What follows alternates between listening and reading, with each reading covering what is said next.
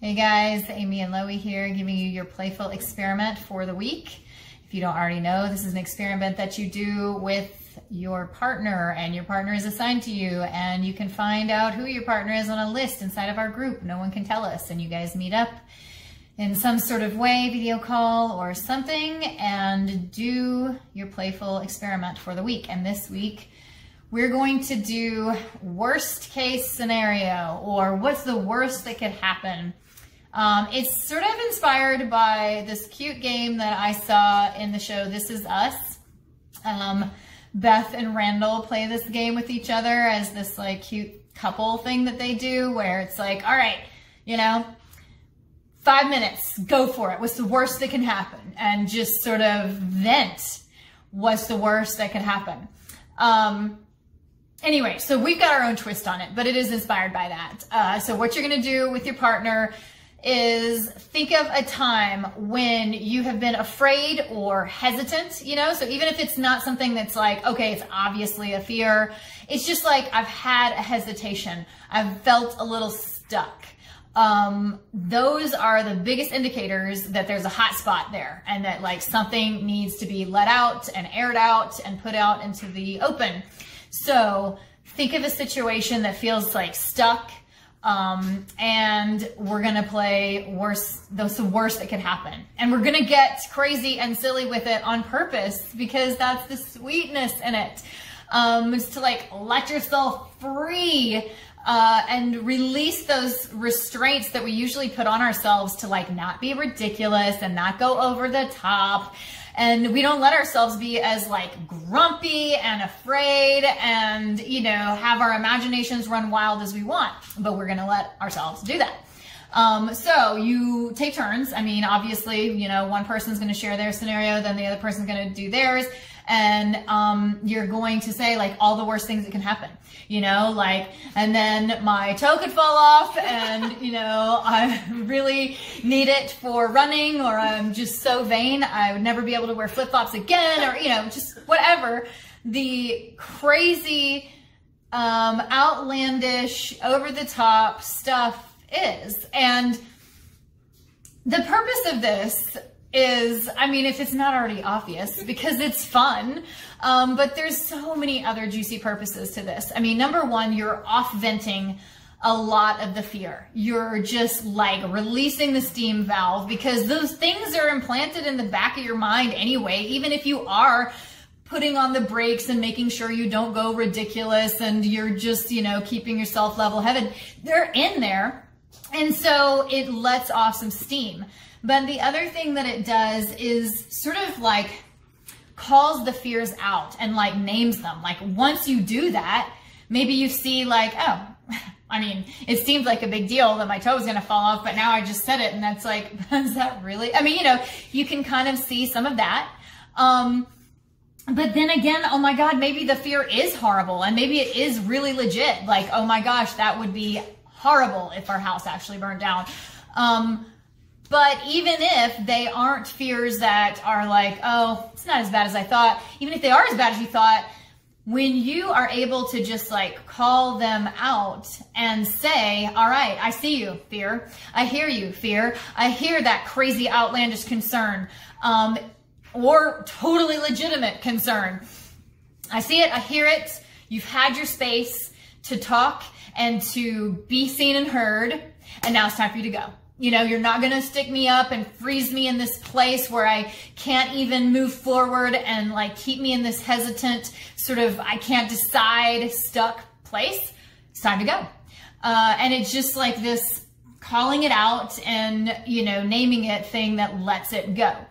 The other thing that I've heard people say though, or I know this because I know that this is like kind of behind why we don't go around acting like saying our fears all the time is because like we're kind of afraid or there is a fear of fear. You know, there is a fear that like if you sit and talk about your fears, then you're going to kind of like stew in them and just like marinate in this giant fear bubble that's going to like make everything worse. And the fear is going to just get bigger and bigger and bigger until you just like mm, bring it to yourself and make it happen, you know? Um, no, that's not the point of what we're doing. I mean, I get that concern because I guess it is possible for you to just stew in your own fear until it just gets huge and overtakes you. But that is totally not what we're doing here. The purpose is to call it, say what it is in order to release it. Because if you think about the very act of releasing something, you have to have it in your hand before you can toss it, you know? So this is just us getting it in our hand so that we can toss it. Uh, because if we don't have it in our hand, if it's just over there, how can we toss it, you know? Um, so this isn't us doing, this is us grabbing it to release it. And it is this super sweet thing to do with a person, another individual, because it's like bonding and connecting and vulnerable. That's why it's so sweet when Randall and Beth do it. Um, and it's cool because you can do it with someone that you don't even know well. And it is a brave, beautiful act of vulnerability to say your fears and let another person witness them. What a gift because then they get to know like, oh my God, listen to the fears in another person. Mine are so valid. Mine are so allowed, you know? It's like, I'm allowed to have fears too. They have them. We relate. Like, we're humans. Let's just freaking be humans. Uh, it gives us permission to be humans. And it also, like, that person kind of holds you down and grounds you. I mean, they're listening to your fears and they're part of what helps you release it because they're sitting there like, I see and hear your fear too. Like, yep, oh my God, like volcanoes could erupt and your house could be melted by lava. Uh, you know, whoa. And, and they're hearing this and witnessing it with you and helping you release it. Like they're tossing too. They're using their energy to like toss it too because we're doing this together. And, you know, so there's extra projectile sort of energy behind that toss. Um, because yeah, that person is there with you. They're hearing you. They're listening. You're being yourself. You're opening up. You're showing that fears are just a normal human part of life. And then it's like, yeah, it's something that we are now like ditching, you know, it's, it's gone now. I heard you and boof, it's gone. Um, the other thing this does is that it helps you to even make decisions, you know, see all the different pieces of the puzzle. When you start spouting off your fears, you start seeing the different um, possible ways that this could play out. And it sort of helps you like, oh, okay, it helps me see the possibilities and maybe give me a better, a better picture, a bigger picture of like what needs to, what parts are at play and what needs to happen. Loie, do you have a worst case scenario, a time that you like paused or were stuck and yeah? Yeah. Can we do it? I was at the pool and mm -hmm. there were some interesting teens that I wanted to hang out with and I wanted to go over to them, but I did not go over to them. I hesitated and I was stuck. And a worst case scenario is uh, I could have went over and they could have like ignored me or said nothing to me, or they could have like scoffed at me like, no, I don't want to talk to you, or they could have actually told me, yeah, we don't want to hang out. We don't go away. we don't want to talk to you.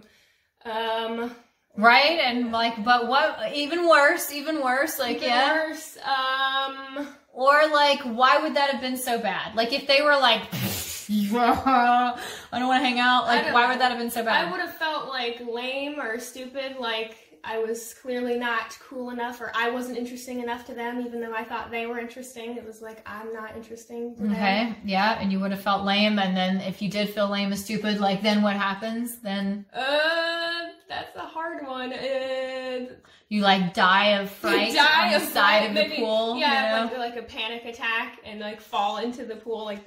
or like everybody else sees too, and then like yeah. the entire world is like taking photos and posting you on social media as the lamest person the, the lamest universe. entire yeah exactly in the entire universe. Make a meme about this is the for, format for a lame person, and for like the rest of your life everyone recognizes your face as the lame face oh, and that's the lame lame like person, even when your children are younger, it's like the title that you now assume and everyone calls you by it. Yeah, my kids are gonna be like, look, it's lame mommy. Yeah. Okay. See what I'm saying? Like, stretch it. Like, what is so bad if they thought you were lame? What is so bad Right. if they said, nah, uh-uh, go away, idiot? Like, you know, then what? Right, Like, yeah. really, what would, if, would you have died? Would you have fallen in the pool? Would you have, like, never been useful to anyone? You know, anyway, so that's what I'm saying. Play it out and see where it goes again, not to soak into the worst stuff. We're like calling it in, you know, this little container that we're creating together to toss it, to toss it, to like, you know what? Cool. And, you know, everybody has had that experience where they were like, oh my God, and then I'll be like, labeled the lameo for the rest of my life, right? And then when we like hear that out loud, like, oh yeah, I guess that happens to like everyone all the time, every day. True. Yeah. You know, or, and like people never get titled lameo on the top, you know, like it, it doesn't happen. You could always find like a corner of the world where someone didn't see that video, you know? Uh, anyway, all right. So you guys have fun sharing your worst case scenarios and being close with each other like that.